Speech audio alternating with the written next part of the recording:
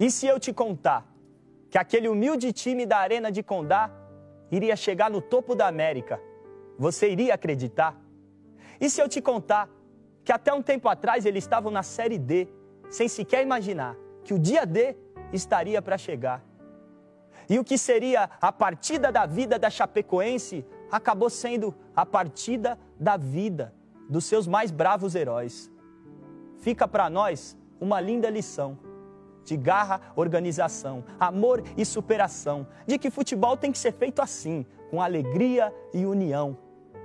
Nossos guerreiros alçaram voos altos, impulsionados por sua torcida fiel. Se não conseguiram a estrela na camisa, seguramente viraram estrelas no céu. Jogadores, comissão, jornalistas, pais de família, filhos, seres humanos exemplares. Que a força da Chape esteja hoje com todos seus amigos e familiares. Ficará na lembrança a alegria daquele time que do Brasil virou xodó. Somos hoje todos torcedores de um time só.